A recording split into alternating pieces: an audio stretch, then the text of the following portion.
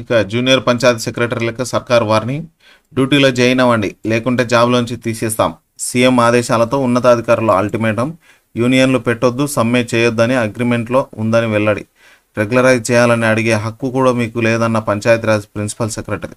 సమ్మె కొనసాగిస్తామన్న పంచాయతీ సెక్రటరీ.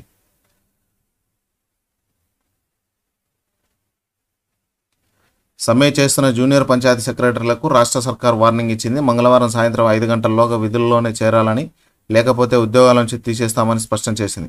ఈ మేరకు జిల్లా కలెక్టర్లకు డిపిఓలకు పంచాయతీరాజ్ ప్రిన్సిపల్ సెక్రటరీ సందీప్ కుమార్ సుల్తానియా ఆదేశాలు జారీ చేశారు. రెండు వేల పంతొమ్మిదిలో విధుల్లో చేరే ముందు జూనియర్ పంచాయతీ సెక్రటరీలు ఇచ్చిన అగ్రిమెంట్ కాపీలోని క్లాజులను ఈ సందర్భంగా సందీప్ కుమార్ తమ ఆదేశాలలో గుర్తు చేశారు. అగ్రిమెంట్లోని కండిషన్ల గురించి తెలిసి కూడా యూనియన్లు ఏర్పాటు చేశారు. రూల్స్కు విరుద్ధంగా సమ్మె నోటీస్ ఇచ్చారు. అగ్రిమెంట్ ప్రకారం రెగ్యులర్ చేయాలని ప్రభుత్వాన్ని అడిగే హక్కు జేపీఎస్లకు లేదు. అందుకే మిమ్మల్ని ఉద్యోగం నుంచి తొలగించేందుకు ప్రభుత్వానికి అన్ని అధికారాలు ఉన్నాయి. మంగళవారం సాయంత్రం ఐదు గంటల కల్లా విధుల్లో చేరాలి. లేకపోతే విధుల్లో నుంచి తొలగిస్తామని ఆయన తమ ఆదేశాల్లో పేర్కొన్నారు.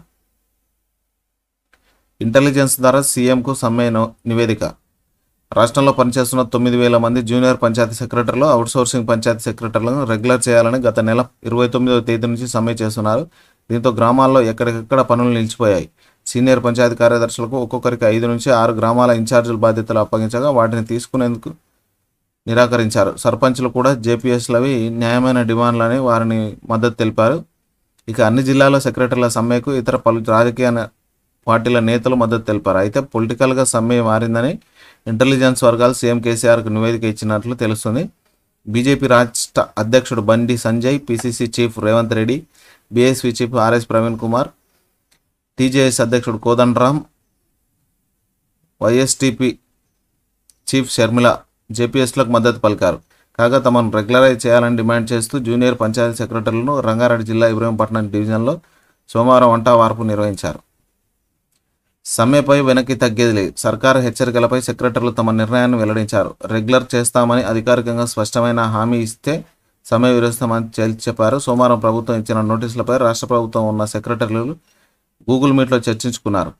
డ్యూటీలో జైన్ అవుదామని సమ్మె కొనసాగిద్దామా అని రాష్ట్ర జేపీఎస్ సంఘం నేతల ప్రతిపాదనలు ప్రతిపాదనకు మెజారిటీ సెక్రటరీ సమ్మె చేయడానికి అంగీకరించారు.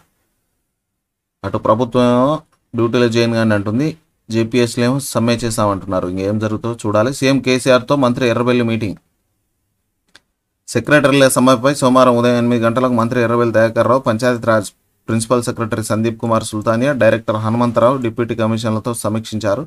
ఆ తర్వాత సెక్రటేరియట్లో సీఎం కేసీఆర్తో భేటీ అయ్యి సమ్మె గురించి వివరించారు. సీఎంతో సమావేశం అనంతరం మంత్రి ఆదేశాల మేరకు పంచాయత్ సెక్రటరీలు విధుల్లో జాయిన్ కావాలని లేకపోతే ఉద్యోగం నుంచి తొలగిస్తామని అధికారులు అల్టిమేటం జారీ చేశారు.